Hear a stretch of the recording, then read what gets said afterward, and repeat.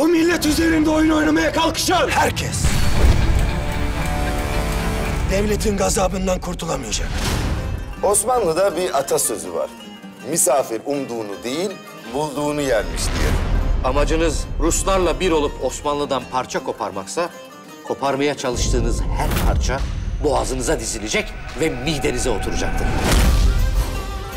Şüphesiz Allah uzak kuranların en hayırlısıdır. Enfal suresi 30. ayet. Öyleyse haber verin. Kanuni esası ilan ediyoruz.